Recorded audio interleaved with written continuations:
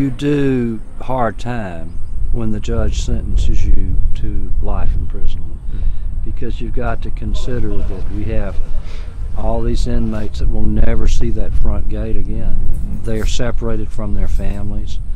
Uh, when the mom dies or dad dies, you know, if, if we can arrange it, we'll allow you to go to the funeral or, you know, we'll let you go visit them in the hospital, but probably not both. No Thanksgivings together, no Christmases together. All of those uh, family moments are spent over at the main prison visiting room or one of the out camp visiting rooms. When that inmate's family comes and visits, and he sees his nephews, he sees his kids, he sees uh, his family members, then he has to go back through the shakedown room. The family members have to go back through the gate and leave the prison. Then that's punishment. Every time that transpires, that's punishment.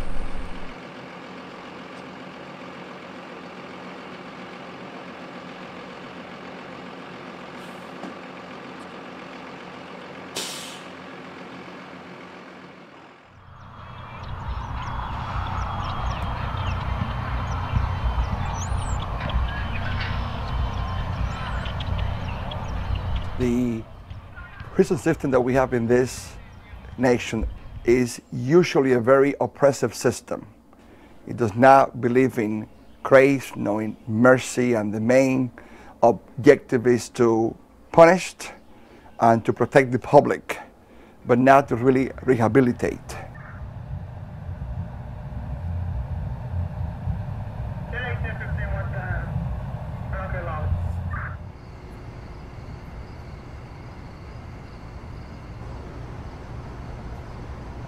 I feel a, a weight on me that it, um, I hope the Lord processes in terms of power and not oppression. And the reason I feel such a weight is because I know most of you aren't, aren't leaving this place except to go to heaven. And that's heavy. It's got to be a, a battle lots of times.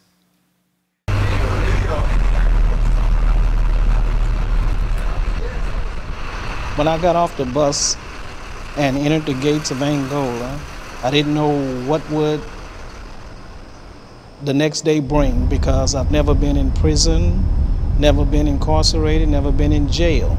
So I didn't know anything about prison life. So I didn't think that I would even see the next day. And when I got here, all I seen was a bunch of guys working in the field. And I say, that's gonna be me.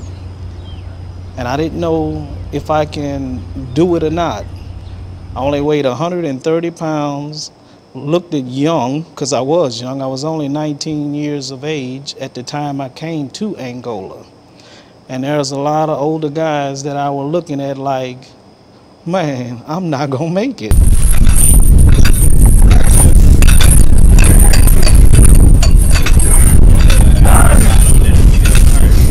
And that's all I kept saying to myself was, I'm not gonna make it. There is a sense in which your position here in prison, next stop heaven, makes it easier for you to get this message than for my people who are tempted every day to be idolaters with their freedom and their prosperity. My dorm is is it's very small, considered uh, 64 people living in the dorm uh, with four shower stalls between 64 people.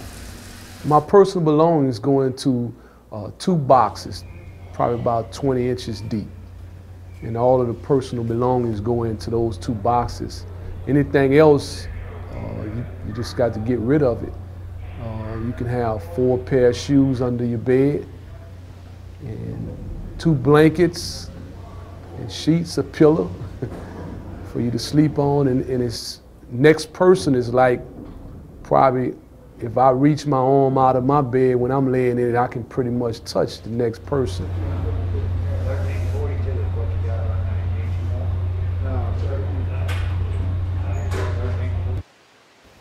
Average day here is basically the, the same day every day. In the morning, you about six, about six o'clock, a quarter to six, they're gonna, gonna blow the whistle for us to go to, to eat breakfast. Go eat breakfast, probably spend about 30 minutes down there, come back to the dorm, clean up, probably brush your teeth. Then the next thing they're gonna blow the whistle again for you to go to work.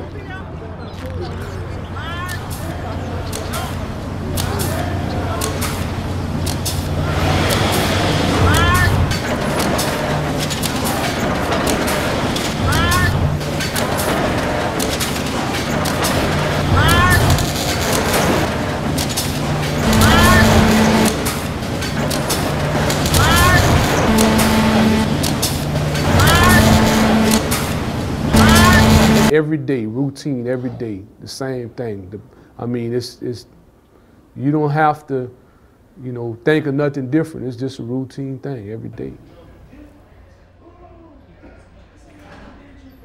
Here's the main point Jesus did not come into the world mainly to give bread, but to be bread. I am the bread of life.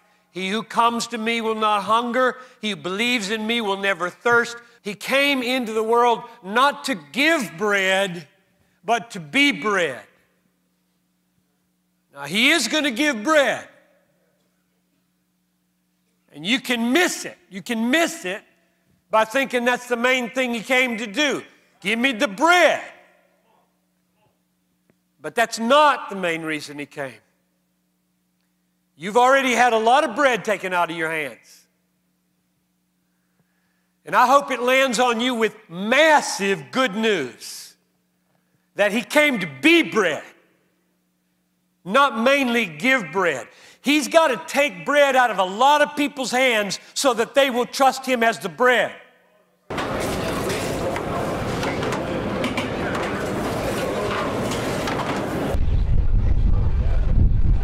I've been here 15 years. Uh, I came to prison at a relatively young age. So it was a lot of things that I never got to experience in life because I came to prison so young. I miss just being able to take a bath in the bathtub. You know, I miss making a paycheck. It wasn't nothing like having a check every Friday. I've been incarcerated in Angola for 19 years. And I mean, some of the some of the simplest things that that when I was out in society and even people right now uh, take for granted. This just being able to come out at night. This this one of the things that I I, I miss most. Just coming out at night when it's cool and just walking out on the streets or in the yard somewhere and just kind of just looking off into the sky and being able to just have that peace of mind right there. I miss that. I miss I miss being able to be in my room by myself. I miss just driving my car. I miss just coming home and leaving when I get ready. Not when somebody tell me to go to bed. Not, some, not when somebody tell me put the light out. I miss being able to put my own light out. You know, I miss being able to have the privacy of taking a crap by myself you know, without five other guys strung out on the side of me. Or being in the shower and everybody else is in the shower. Being able to go into the store and get what I want to get. I got to get what they provide. I might not like eating a certain type of cereal, but that's all they offer. I might want to pick something else. I miss the fact that I can't go to the ball game if I so choose. I just really miss not having the, the luxury and the liberty to do what I want when I want to do it. Uh, just being able to share time with my family. You know, Christmas is a season for me that I love. I love that time because that time represents family for me. Every every Christmas, my family will come from all over the United States and we will spend time together, have family reunions, and I miss that.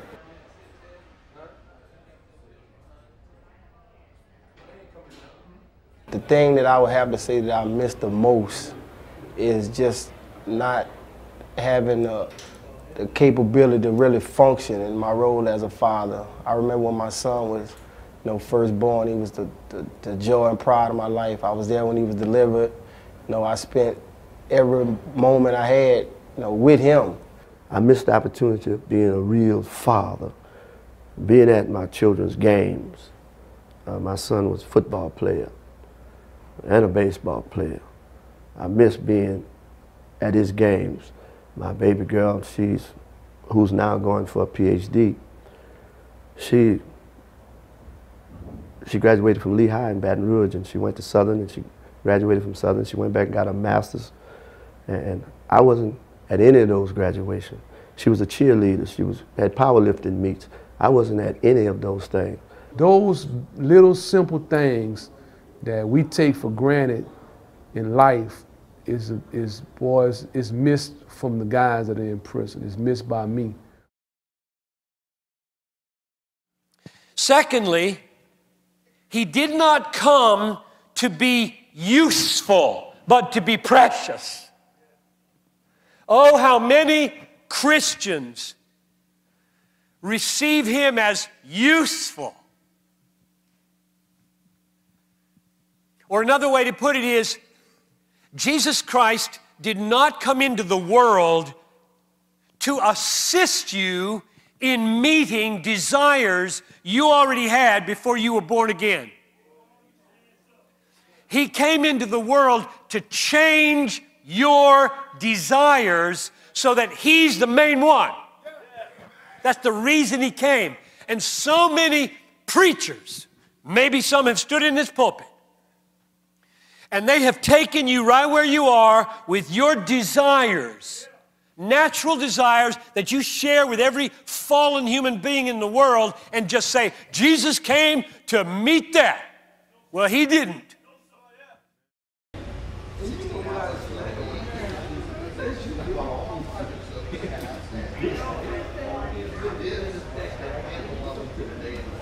Well, I lived in the projects. Uh,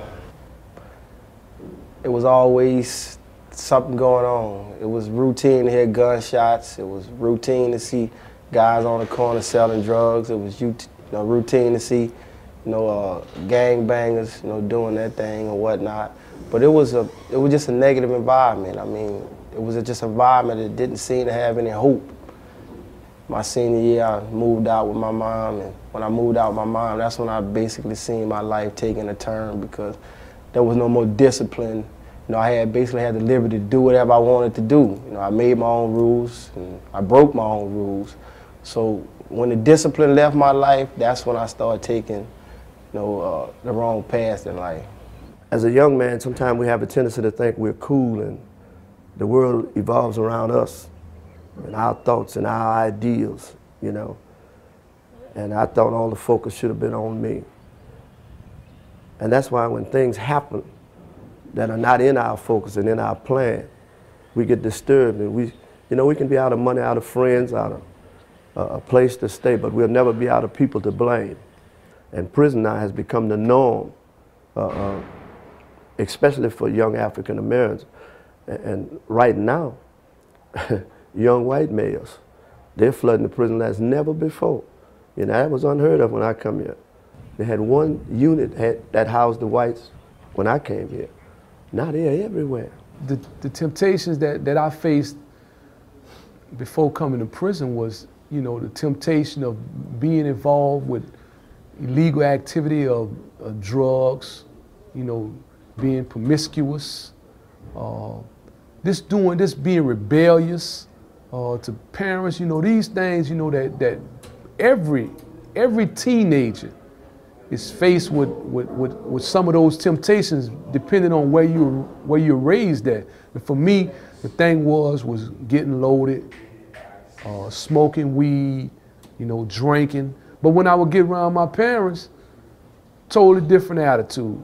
You know, I, I can get preppy. I put on a little preppy look and you know, and I can, I can, I was able to play the two roles back and forth. And I know a lot of kids do that. I mean, you know, one minute you can get thugged out, then when your mom around, you can get prepped up and you can, you know, play the little clean role. And most parents, you know, we so naive sometimes. We think our kids never do anything wrong. 1978, I was working for the Army Corps Engineers, and I owned a ballroom, Sid's Place. And I went to an all-night party. I was also singing with a band. A young man who was doing fairly well. And I went to an all-night party, drinking Chivas Regal out the bottle and smoking weed, grade A red bud. And for the first time in my adult life, I snorted some cocaine. And it was a wild party. And when I, the next thing I knew, I was waking up in handcuffs. Guys in my neighborhood came on my birthday to get me, and I got in the car with them, and one thing led to another. And a couple of years later, I'm in prison. This is my first time ever uh, being incarcerated. I never gotten a traffic ticket prior to my incarceration. Nevertheless, one bad decision ultimately cost me the rest of my life. And that's what happens when we're disobedient, when we think mother and father don't have the answer, when we think we're big enough to have our own answers, when we won't obey, when we're disobedient, when nobody can tell us nothing, when we think we're man. These are the type of pitfalls and potholes that we fall in and cripple us sometimes for life. Well, young man, welcome to Angola. And I'm glad that you're on this tour because I want you to see what prison life is all about. The guys at Camp Jail in those cells 23 hours a day. There are things that go on in this cell that you don't want to be a part of because these guys sometimes will throw feces at each other. And this goes on sometimes for days. And if you're not careful, if you get too close, these guys will take a toothbrush and make a shank out of it and use it as a weapon. Because these are the minds that these guys have created being in these cells for so long. They think of ways to either hurt you or kill you. Although there are guys that have changed, but there are guys that have not changed. But you don't know which ones there are. And this is the stuff that you would be faced with if you make bad choices in your life and find yourself here. Because it's easy to get into trouble, but it's so hard to get out of.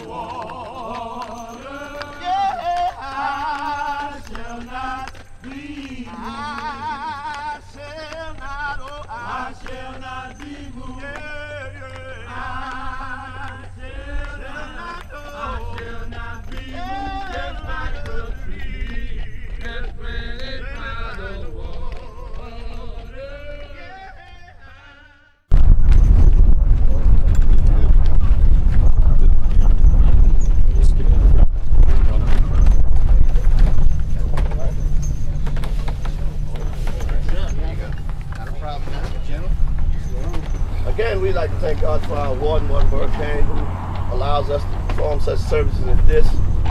As many of you know, there was a time when we couldn't do this. But now, thank God, we are able to bury one another with dignity and respect. Finally, my brethren, be strong in the Lord and in the power of his might. Put on the whole armor of God that you may be able to stand against the wiles of the devil. For we wrestle not against flesh and blood, but against principalities, against powers, against rulers of darkness of this world, against spiritual wickedness in high places. My brethren and my sisters, whereas death has once again invaded our ranks and removed from the walks of this life our beloved brother Quinn his soul having departed to dwell in an undiscovered country from whose bourne no traveler returns, it becomes our sad duty to commit his body to the grave. Ashes to ashes, dust to dust. And also our inspiring privilege to commit his soul to our Maker, our Redeemer, Jesus Christ, in the confident hope of the resurrection from the dead, in the glorious realms of life. Let us pray.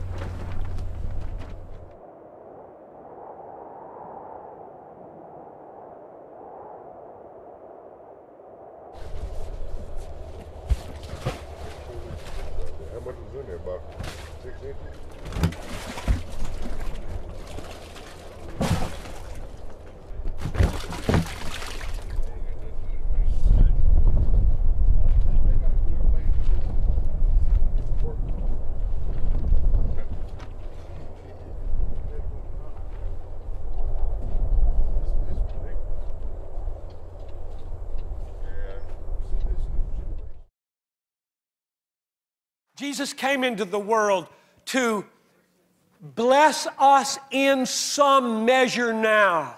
And I'll get to that in a minute from this very parable. But mainly, He's trying to forgive our sins, clothe us with righteousness, make Himself our treasure, seal our eternity forever, and then put us to work in the world, whether we're in prison or on the outside. And the same reality is here as out there. The main thing is here. The other stuff feels real important, but that's why I said it may be that your very presence here will enable you to see better than the people in my church can see. They got the stuff. They just take it for granted. That's what it's about. And it's not what it's about. It's about Him. I feel like I lost a lot of ground, a lot of years with my children. You know, my son looks at me and I can tell he doesn't see his father in the magnitude in which a son should see his father. When I see him, I saw myself at a young age because I met my father here in Angola, and unfortunately my son had to meet me right here in Angola. So in the initial stages of my incarceration, you know, my dad came around, you know, he came visit me uh, pretty frequently, pretty often. And uh, I was really, you know, inspired thinking that, you know, even through, you know, the situation, as, as, as dark as it may seem, the good part about it, you know, it looked like I'd have got my dad back. It looked like he part, you know, wanted to start being a part of my life. And unfortunately, I think as the years got went on and things got more repetitious with me just being in prison, he got used to it. Uh, he and I had a disagreement uh, about something, and rather than resolve it like two men, like a father and a son. He just chose to run away from it.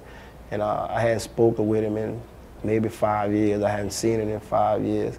And I'm kind of had started, you know, building that same bitterness and resentment back up, you know, for him because like you did what you did when I was a child. You just took off and ran away without any explanation. The more I reach out for you, the more you kind of turn your back on me. So it's my relationship with my dad what really motivates me to be in my son's life, to reach out to him, to try to build a relationship with, uh, with my daughter. I always said, you know, I never want to be like my dad.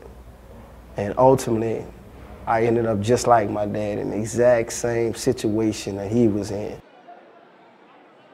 I got married young. And then I got drafted in the military. But uh, I came back. I got three kids.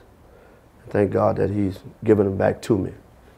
You know, it took a long time for me to get my baby back, and she literally hated me. And she told me that. You know, she said, "Daddy, I hated you." I said, "Why?" She said, "Because you abandoned me." You know, and she had a right to, because I had put my own selfish needs and desires above her future.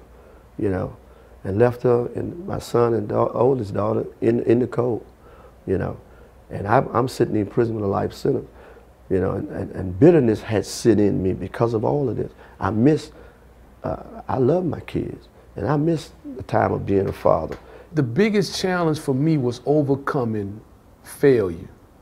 To me, that was that was my struggle, because the reason why I say overcoming failure because I I just had this this condemnation on me that I had failed my parents. I had this like throwed everything away just just just in a moment of time, and and, and that was one of the things that I had to express to my parents when I when I came here after I overcome that. I really shared with them that they don't have to feel you know like they didn't do what they were supposed to do as parents because they did. And I wanted to free them up on it. I wanted them to know that that what I did and the, the situation that I find myself in had absolutely nothing to do with the way that they raised me. I've been here 30 years, you know, and I understand prison life. And, and, and it's a dog life. Prison life is not a good life. I don't recommend prison to, to, to my cats and dogs. You understand? But because I'm here, doesn't mean I have to be a cat or a dog. And a lot of you know, people in society, they just on a fast track, just living life, you know, one day at a time and taking life at face value. But you know, in a situation like mine, having life taken away from me really made me appreciate life and really sit down and you know, put more value on life and some of the things that people think small to me now just mean the world to me. You know, I basically had to live my life through the Travel Channel. Uh, going on vacations through the Travel Channel and watching reality shows and things of that nature. People waste their time in prison by trying to to hold on to what they thought they was representing in society. And what I mean by that is you people people come to prison and, and what they were doing out there, the, the things that put them on the road to come into prison people try to carry out that same image uh, in prison. And it's, it's a waste of time because, I mean, you can't be what you was out there. I mean, and, and the reality of it is, or common sense after you've been awakened would say, if that's what got me here, then certainly I don't want to continue to do the same thing that put me in the position that I'm in. You know, a lot of times people don't know how sorry you are for what you did, you know. They, they'll never get that opportunity, you know. 30 years, you know. And I had a chance to share with my mother and share with my children, you know, how sorry I am for the pain I've caused. But when you come to prison, your family is in prison. Your mother's in prison. Your father, your sister, your brother, your sons and daughters are in prison with you. When my kids went to school and everybody else's father was there, and they asked my kids, where's your father? They had to drop their head in prison.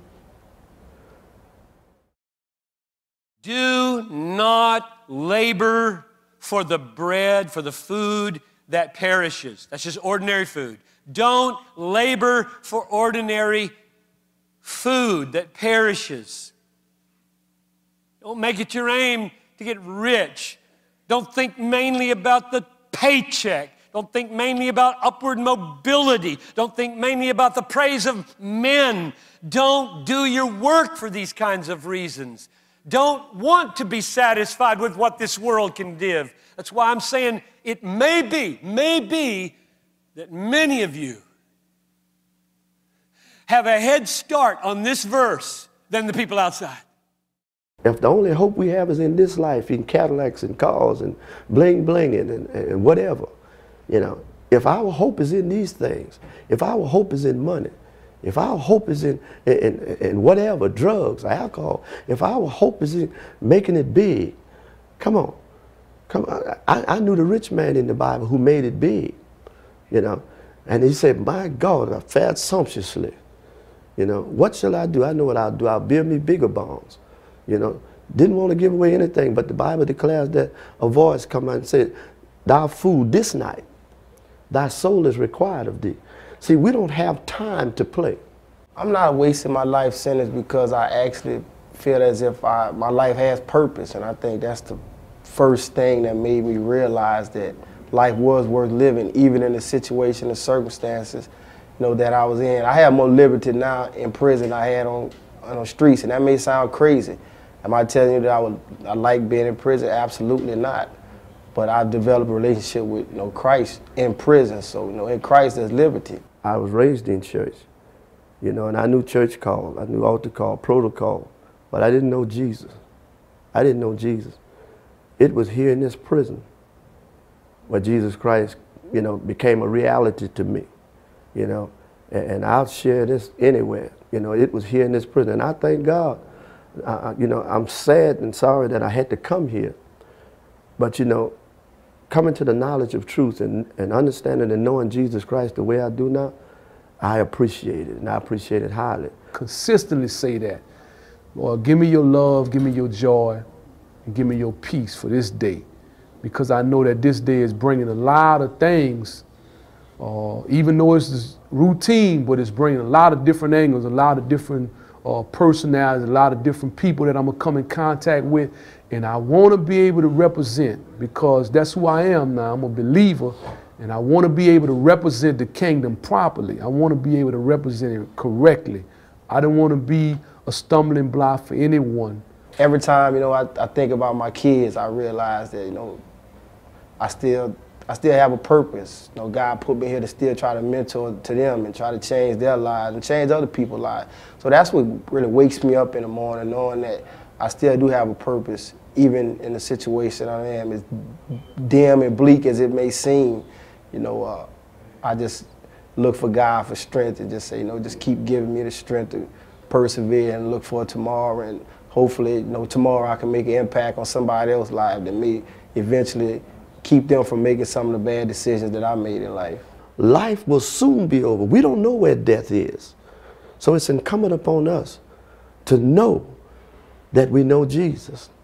Because only then can we have a sure, secure, eternal security. Just the other day, I buried a young man, 35 years old. You know, death has no age barrier. Death doesn't care about race, creed, or color. you know, death don't care how old you are. See, we don't have time to play. And one of the scriptures that really blessed me uh, the Bible say that for, who for the joy that was set before him, he endured the cross. The joy was on the other side of the cross.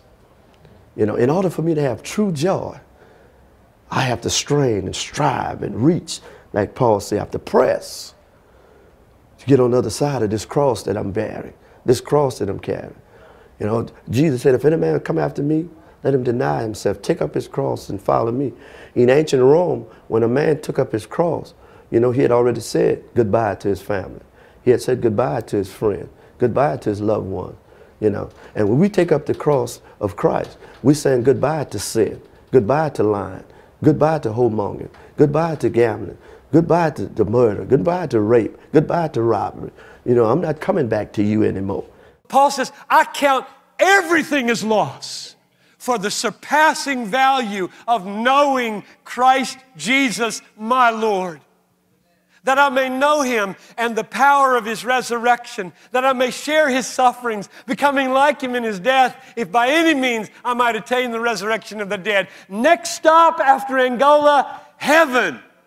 If he's precious, if he's precious beyond anything in this world that you've already had to lose. I know him. I know he's real you know, and, and that I think that's the apex of my life, just knowing Jesus, you know. And if it had not been for this experience, I may have never known him. I may have died out there in my sin, you know, living a wicked life. Jesus said, what is it a man gain the world but yet forfeit his own soul? So that alone is basically telling us that all the achievements that we get in this lifetime, all the awards that we may win, all the monetary gain we may seek, all the uh, women we may conquer doesn't amount to anything if we're not in relationship with God because that's what's ultimately going to count. Even in this place, even with the desire to be free, we still can live a complete life because whether in prison or out, the only completeness of life is in Christ. That's, I mean, that's the only complete. You could be free, but if you're not in Christ, then you're not complete. My name is Keith Jamal Morris. My charge is first degree murder. I'm currently serving a life sentence without probation, parole, or suspended sentence. I've been in Angola for 15 years. I'm 33 years old. My full name is Ron Christopher Hicks. My charge is second degree murder. My sentence is life in prison without the benefits of parole or probation or suspension of sentence. My full name is Sidney DeLoach Jr. I'm charged with rape. I have a life sentence without the benefit of probation, parole, or suspension of sentence. But I want to take advantage of this life while I have it because I understand that it's only in this life what I do for Christ that's going to make any difference, that's going to count, that's going to mean anything. Everything else going to perish. Everything else going down but the Word of God.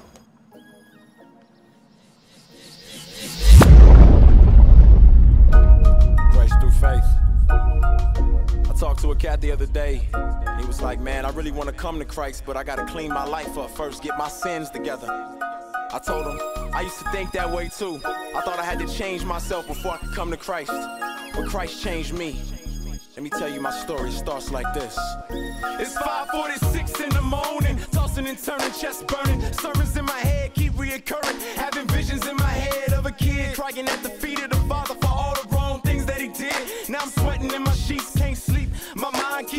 me I'm six feet deep. Don't remind me, even though I'm still alive, I can't tell. The way I'm living my life, I feel I'm going to hell. God, they telling me I should accept you, that you had to leave the world, cause the world left you. Reason I can't change, like a mystery to me. So I make believe there really is a heaven for a G. Even though they say you love the world so much, you shed your blood. God, I feel I'm too messed up for love. They tell me come as I am, but I smell like smoke. My